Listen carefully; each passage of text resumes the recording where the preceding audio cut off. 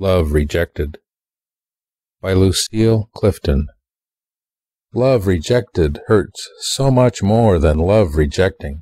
They act like they don't love their country. No, what it is, is they found out their country don't love them.